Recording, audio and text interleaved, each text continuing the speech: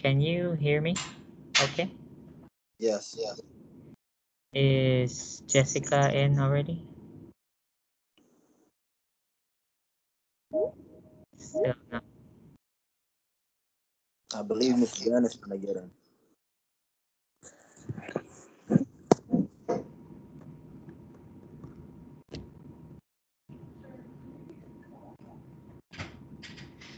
Okay, Jessica is in now. It looks like it. Sorry, Professor. I don't know why he keeps kicking me out. It doesn't like you. It it doesn't like me. All right, can you see my screen? Yes. Yes. All right, so let's skip over, like I said, the reason again for thyroid cancer is this will be taken up next semester under cancer in your fifth semester. And as far as management, because this is surgical, uh, surgically treated, uh, removing the, the tumor as well as the thyroid gland itself. So the patient will have the same pre and post-op care as with what we discussed under thyroidect um, thyroidectomy for hyperthyroidism. Let's go now to the other glands. Now these four other glands are attached anteriorly and posteriorly on the thyroid gland. So chances are when a patient undergoes thyroidectomy, these are also removed because you can't really leave them out because they are attached to the thyroid gland. So if you remove the thyroid gland, where are they going to go? Make sense? Okay. Although with subtotal thyroidectomy, they can be preserved. However, they are prone to be injured in um, in the in, in every thyroidectomy surgery. Besides thyroidectomy, there are other causes that can lead to hypoparathyroidism. Uh, namely, we have uh, autoimmune diseases. We also have tumors,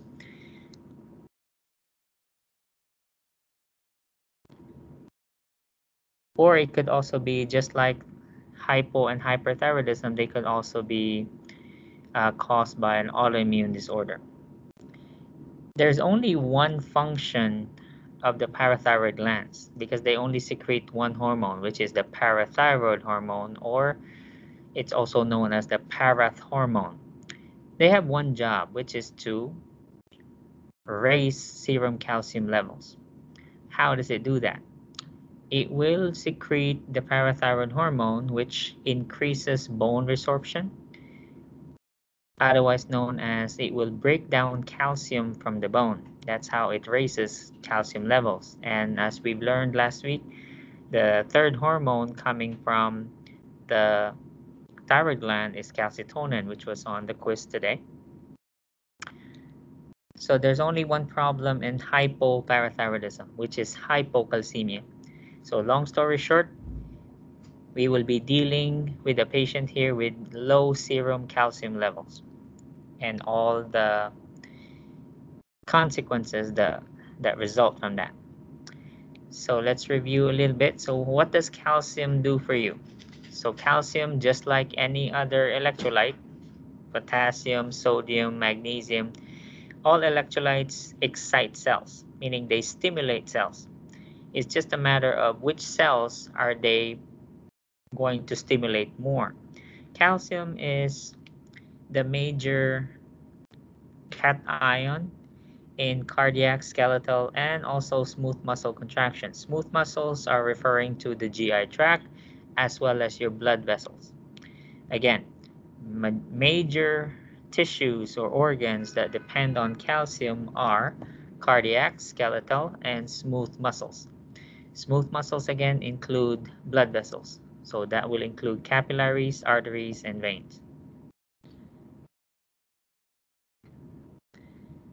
Manifestations, of course, these will be consistent with low calcium levels. So what are, let's review again, what are signs and symptoms of hypocalcemia?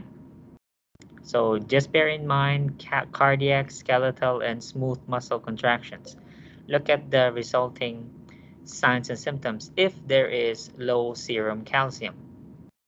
What do you notice on the symptoms? namely numbness, tingling around the mouth, hands or feet, uh, severe muscle cramps, spasms of the hands and feet.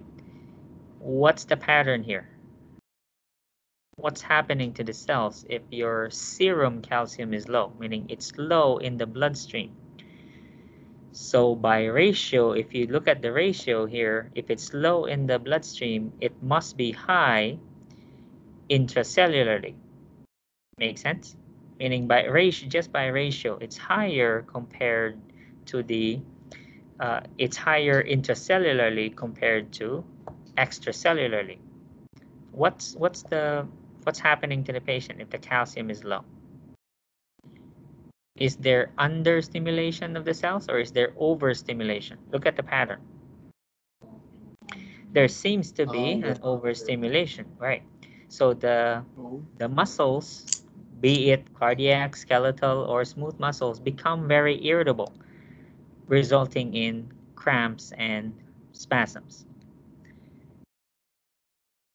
You can also say the same uh, in, in the case of the GI symptoms, which is not listed here, since they are low, so therefore it will result in lower peristalsis. Peristalsis will be slow, resulting in constipation, nausea, vomiting, abdominal distension.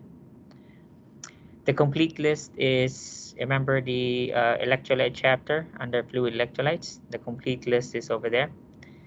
For laboratory, we will uh, do the total calcium, which is the first column there. That's referring to total calcium, 8.2 to 10.2. Uh, obviously, that's decreased in hypoparathyroidism and then increase in hyperparathyroidism. When we say ionized calcium, I think somebody asked me this last week under thyroid gland. Who was it that asked about free T4, T3, T4? Me. Yeah. Okay. So this is the same. So when we when we say ionized calcium, this is the free calcium. Free calcium, ionized calcium is the same thing. This is the calcium that is not bound to anything. Calcium, as in total calcium, includes calcium chloride, which is found in the bone. Whereas when we say ionized calcium, this is the free calcium that is coming in and out of the cells, coming in and out of cardiac, skeletal, and smooth muscle cells. We include magnesium and phosphorus here, specifically phosphorus, because they are opposite. If you look at the pattern, if calcium is low in hypoparathyroidism, look at the level in hypoparathyroidism in, in, for phosphorus. It's increased. So therefore, you will never see a situation wherein calcium and phosphorus are going in the same direction. They will always be opposite, right? Because they can't exist in the same compartment. Make sense? So keep that in mind later when we talk about diet. Because in hypocalcemia, of course, that would tell you just like in hypothyroidism, we replace the hormone, right?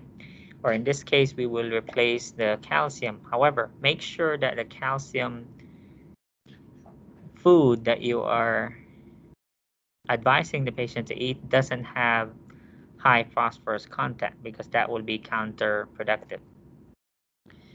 What is the significance of vitamin D here? Why is it included?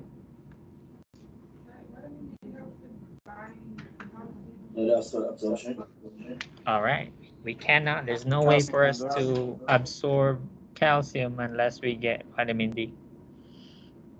Here are manifestations of Chvostek's and Trousseau sign, um, referring to tetany.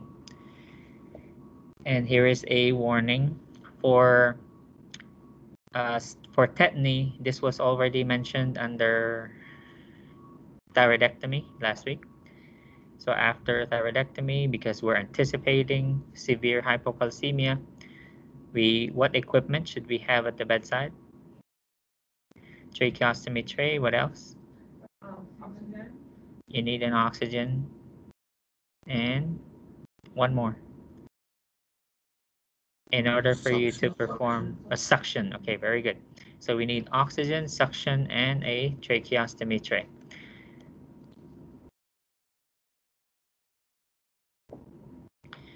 How do we diagnose it? Of course, we draw calcium levels in addition to the clinical manifestations being presented by the patient. Next is what do we do about it? So the patient has severe hypocalcemia. Treatment will be, of course, to raise calcium levels. We will be giving calcium chloride, calcium chloride, calcium gluconate. Um, we will also include vitamin D. Uh, that will be calciferol. I think there's a no, there's no table. Okay, uh, let's just keep it here. Uh, please bear in mind the difference here. So look, you, you see the statement right here under chronic hypothyroidism. The uh, treatment is oral calcium with vitamin D. For acute episodes of hypocalcemia, uh, we do supplement it with IV, IV calcium gluconate or IV calcium chloride. Patient will always be on a cardiac monitor though when when this happens. Because what is always the consequence when you treat one disorder in in any endocrine problem? As you saw last week all right it will be the opposite right we treated hypo hyperthyroidism the patient became hypothyroid and then vice versa when we were while we were treating hypothyroidism patient could potentially develop hyperthyroidism. Same exact thing here. Here's a summary of our signs and symptoms. I won't test you on the EKG effects yet because we haven't finished module 8. Uh, after we do module 8, these are now free game. I can now test you on ECG um, waves and complexes changes. I'm referring to T wave, QT changes, um, but but that's later after module eight. So for the second exam, uh, I won't test you on those yet because I, it's not fair yet. Okay, we, we haven't finished um, module eight yet. But everything else, the muscle cramps, spasms, tingling, paresthesias, seizures, uh, except the ECG changes. Here are our interventions. Again, it, it, it is uh, to replace calcium levels. Please see the difference between acute and chronic hypocalcemia. And here's cardiac monitoring, as already mentioned. Now, magnesium will also be checked because if you look at the pattern back to the labs, what can you say about calcium and magnesium? Are they opposite or do they go together? They go together. So if calcium drops, so does magnesium and vice versa. So if it's up, magnesium is also up. Phosphorus is the one that's opposite. So therefore, if the patient has hypomagnesemia, then the patient definitely will have hypocalcemia at the same time. Any question on hypoparathyroidism? Oh, the effect's gonna be in hyper. What was that, Bello? I said um like um, hypothyroidism, hypo um, would it would the effect be inverse as well? Um, your audio was really broken. Say more slowly. No, I said like when we um hypo and hypothyroidism are the effects the opposite as well. Um, you mean when we go to hyper? Is that the question? Yes. Yes. Yeah, yes, it will be opposite. And as already mentioned here, signs of hypocalcemia and hypercalcemia because while we were we are treating hypocalcemia here, patient may develop hypercalcemia. So you'll be teaching them signs and symptoms of both. Here's what I mentioned about nutrition earlier. So when you're supplementing nutrition, you're, you're treating hypocalcemia with nutrition therapy, make sure the foods are high in calcium but must be low in phosphorus. We'll get to that box later when we get to um, um, the next pages. Box 43.1 will be um, in, in a separate page. This time, let's do hyperparathyroidism. So this is the exact opposite. We were dealing with hypocalcemia. This time, we are dealing with hypercalcemia. These are some of the associated causes. It's typically a common problem in chronic kidney disease. Here is box 43.1. I'll be testing you only from this box for uh, the nutrition, right? Because we're not trained to be nutritionists. So uh, to be fair, I'll use box 43.1 for the exam.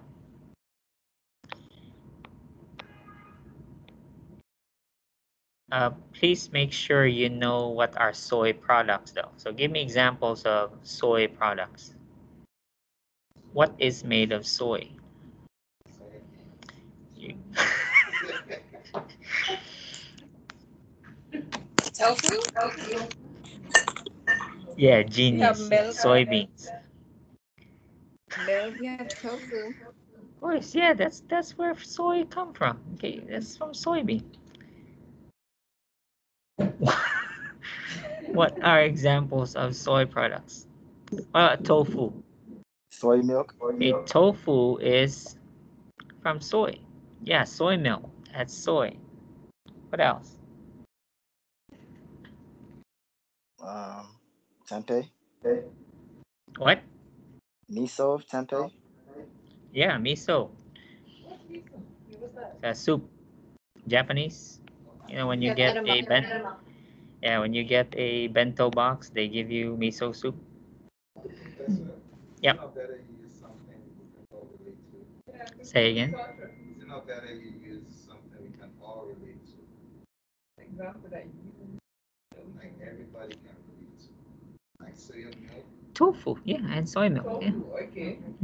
Tofu would be the most common. I mean, um, The edamame beans. yeah, I, I don't really eat a lot of it. I mean, I eat it if it's available, but um, it's not like I really seek out tofu. Let's have some tofu for dinner, right? Or, or some soy products. Do they have chunks over here? Veggie chunks? Do they have what? Veggie chunks. Veggie chunks? I don't know, but I know they make some artificial meat, you know, plant-based meat uh, made of tofu. They, they also do that. Not bacon. not- Yeah, like the I don't know, Um, yeah veggie burgers. They they have tofu. Okay, so in hyperparathyroidism, so where did this calcium come from? Because the patient has hypercalcemia. So obviously, because of the high levels of parathyroid hormone, there will be increased breakdown of calcium from the bone. Uh, obviously, that will lead to bone loss. Um, so this patient will be at risk for fractures.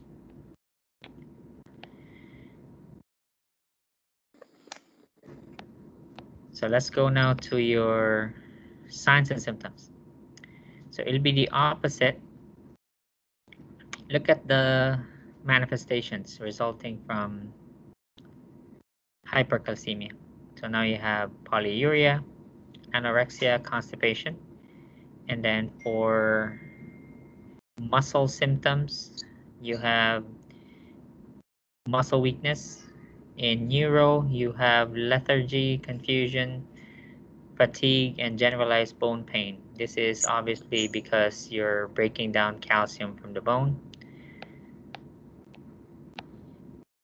Diagnosis, of course, serum calcium levels, total and free calcium, magnesium, phosphorus will be drawn. Treatment. So this is opposite. We have high calcium. We have to lower the calcium level this time. There are two ways to do this. One is to eliminate calcium and Another way is to return calcium back where it came from. Meaning instead of uh, the, the original problem wherein you had increased osteoclastic activity, which is bone resorption, now we're going to increase the osteoblastic activity, which is now we're returning the calcium back into storage in the bones and the teeth. So let's go with excretion first. So for as far as excreting calcium, we will increase fluid intake. That can be accomplished by mouth or IV fluids. At the same time, we will also be giving diuretics, particularly um, loop diuretics. There's a warning here for thiazide diuretics because this can actually cause reabsorption of calcium in the bone. So you can use loop uh, diuretics, but not thiazide diuretics. We will also avoid all other uh, sources of calcium like Tums, for instance, which is a common antacid. And we'll also decrease vitamin D. Here is our uh, summary. Again, all the other signs and symptoms except the ECG changes. Kidney stones, stone, let's say urethral stones are all possible. Yeah. Um, nobody asked me why we're giving fluids and diuretics at the same time. Isn't that kind kind of counterproductive? Not overloading, but kind of counterproductive, right? You're giving fluids and then you're giving um, diuretics at the same time. Did you think about that? Because you want to keep them in balance.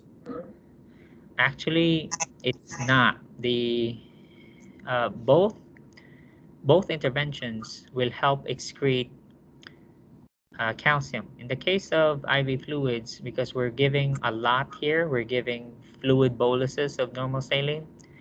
Let's say one 500 to 1,000 mLs per hour. So the purpose of this is to flush calcium out. Plus, the rapid infusion of fluids will actually cause a dilution of um, the bloodstream, lowering calcium levels immediately because the diuretic here will take about 30 minutes to an hour to work. So if you need to drop calcium levels fast, then your your first intervention would be to give uh, large volumes of IV fluids, normal saline. So here's your fluid increase. Um, that will also help decrease uh, stones. Here's the rationale right here, another rationale. So here's your loop diuretic. This one will definitely help you excrete cal uh, calcium. What else will it excrete though? It, will it only excrete calcium, potassium, and a little bit of sodium as well? Yeah, that's right. Uh, you give oral phosphates, definitely this, if you give phosphate, then that means you will eliminate calcium. Uh, here's your protection from injury, protect the patient from uh, fractures, so fall precautions. If the patient has symptoms of a kidney stone, make sure you strain the urine. This is for diagnostic purposes. That way the doctor is aware whether or not the patient passed any stones. And just like with hypocalcemia, we will teach again both because our interventions has the potential to lead to the other extreme problem. And obviously the calcium's already high, so we do low calcium diet. And here again is the increasing fluids. Remember the patient does have constipation uh, it with hypercalcemia. And that's it. Any question on hyper and hypothyroidism?